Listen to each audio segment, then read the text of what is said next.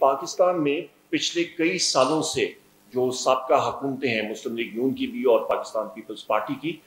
उन्होंने गैस और तेल के ज़खायर की दरियाफ्त के लिए कोई हतमी या कोई अमली आ, कोई कदम उन्होंने नहीं उठाए। और यही वजह है कि पाकिस्तान के तेल और गैस के ज़खायर जो हैं वो तकरीबन योमिया साढ़े सात फ़ीसद के हिसाब से घटते रहे हैं कम होते रहे हैं। साढ़े सात फ़ीसद योमिया per annum seven point five percent per annum और इस वक्त जो सिंध का आपका, जो कुल, आप उसका टोटल या देखें कि इस वक्त कमी कितनी आ रही है सिंध के अंदर वो तकरीबन ढाई सौ, दो दो सौ पचास M M C F D gas की कमी इस वक्त आ रही है सिंध में। और इसमें दो तीन चीज़ें आप जहन में रखें। ये इस वक्त आर्टिकल 158 से चीज़ आगे चली गई है और यही चीज़ जो हमारी कॉन्फ्रेंस वज़ीर अजम साहब ने जिसको शेयर किया था और उसमें हमारे सूबाई वजरा आला भी आए थे, उनकी नुमाइंदगान भी थे और हम लोग भी वहीं पे मौजूद थे। वो इसी बात की थी जो कि काउंसिल ऑफ़ कॉमन इंटरेस्ट के के रिकमेंडेशन पे एक कॉन्फ्रेंस होल्ड की गई थी कि पाकिस्तान की चारों दहाई के दरमियान एक कंसेंसस हो जाए, एक बामी मतलब उसके साथ कंसेंसस आ जाए कि आगे जाते हुए गैस की जो कीमत है या जो तरीक़ाकार है, जो हम लोग सेट करते हैं, उस पे एक आंगी आ जाए और वो weighted average cost of gas के ऊपर थी। ये भी मैं कहता चलूँ कि सिंध हुकूमत के साथ हम लोग तकरीबन डेढ़ साल से, बल्कि पिछले साल भी आप पूरा देखें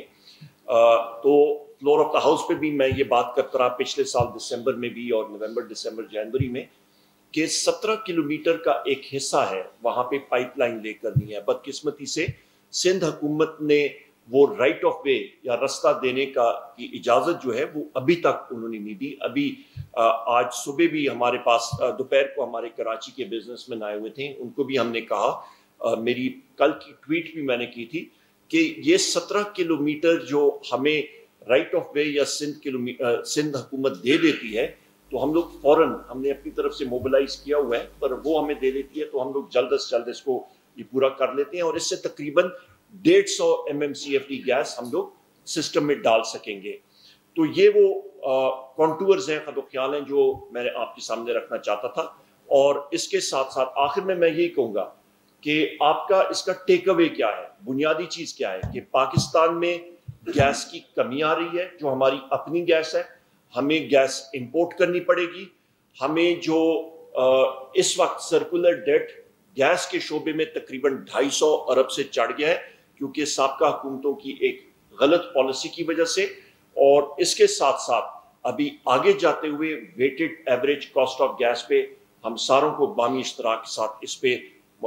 इस पे अग्रीमेंट करना पड़ेगा, और जो फ़ौरन जो हमने काम करना है, वो ये है कि सर्दियों की प्लानिंग और उस पर रैशनिंग हमें करनी पड़ेगी। कई सेक्टर्स को सीएनजी को, कई जगहों को हमें कम देनी पड़ेगी, कईयों को एडजस्ट करना पड़ेगा और जो सत्रह किलोमीटर है, वो हमें जल्द अज जल्द बनाना पड़ेगा। बशर्ते के गवर्नमेंट ऑफ़ सिंध हमें राइट ऑफ़ वे दे दे। इस वक्त जो शॉर्टेज है, कराची में या सारे सुई सिस्टम में दिसंबर और जनवरी में जब सर्दियाँ आ जाएँगी तो ये शॉर्टेज 250 से बढ़ के तकरीबन 400 पे चली जाएगी। और उसी वक्त सुई नॉर्दर्न के सिस्टम में दिसंबर और जनवरी, दो महीने जो विंटर के हमारे हार्ड विंटर होते हैं, सुई नॉर्दर्न के सिस्टम में भी तकरीबन तीन, साढ़े तीन सौ की शॉर्टेज होगी। सो हमारे लिए उस वक्त ये भी मुमकिन नहीं होगा कि हम सुई नॉर्दर्न से कुछ गैस डिवर्ट कर सकें सुई सदरन की तरफ़। सो so, इन अवामिल को सामने रखते हुए हम कर क्या रहे हैं? जैसे उमर भाई ने कहा हम तकरीबन एक साल से डेढ़ साल से सिंध गवर्नमेंट को कह रहे हैं कि हमें राहदारी दे दें। हमें पोर्ट कासिम से एक सत्रह किलोमीटर की पाइपलाइन डालनी है जिसमें कुछ हिस्सा सिंध गवर्नमेंट की ज़मीन से गुजरता है।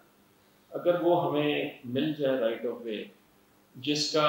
हमें सिंध गवर्नमेंट के मिनिस्टर एनर्जी ने चंद दिन पहले भी वादा किया है कि वो अगले हफ़्ते आठ दिन में हमें ये दिलवा देंगे। लेकिन ये मामला जैसे मैंने कहा, तकरीबन डेढ़ साल से चल रहा है। अगर वो हमें मिल जाए तो हम करेंगे ये कि जो हमारे दोनों एलएनजी के टर्मिनल्स हैं, जो इस वक्त तकरीबन बारह सौ के करीब चल रहे हैं इस महीने, वो हम दिसंबर और जनवरी में उनको 1200 की बजाय तेरह, साढ़े तेरह सौ तक चला सकते लेकिन वो गैस मूव करने की हमारे पास इस वक्त कैपेसिटी नहीं है पाइपलाइन की वजह से। सो so, अगर सिंध गवर्नमेंट हमें ये राहदारी दे दे अगले चंद दिन में तो इन हम दिन रात काम करवा के दिसंबर के वस्त तक इस पोजीशन में आ जाएँगे कि ये जो शॉर्टेज सिंध में आ रही है कराची में आ रही है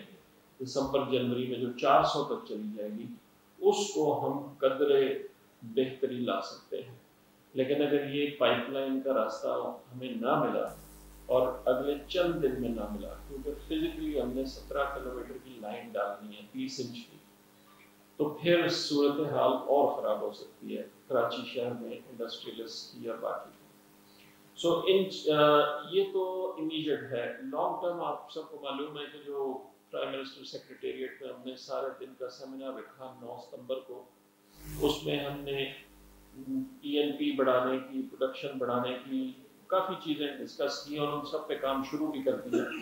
लेकिन इमीडिएट शॉर्ट टर्म में जो इस वक्त सूरत हाल है कराची में और स्वीट सदर में, उससे डील करने के लिए हमें सिंध गवर्नमेंट का ताउन चाहिए। और ये जो एडिशनल एल एन जी हम लाएँगे ये कराची शहर में ही इस्तेमाल होनी है। सो अगर हमें राइट ऑफ़ वे ना मिला तो इसका सबसे बड़ा इफ़ेक्ट कराची शहर में होगा, जो हम नहीं चाहते।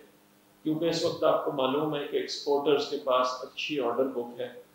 आज भी हमारी तकरीबन कराची के 10 बड़े एक्सपोर्टर्स के साथ काफ़ी तवील डिस्कशन हुई है। कल शाम मेरी एप्टमा की सारी टीम के साथ हुई है, जिसमें कराची के भी लोग थे, लाहौर के भी लोग थे। और हम उनको यही समझा रहे हैं कि हम हर मुमकिन कोशिश करेंगे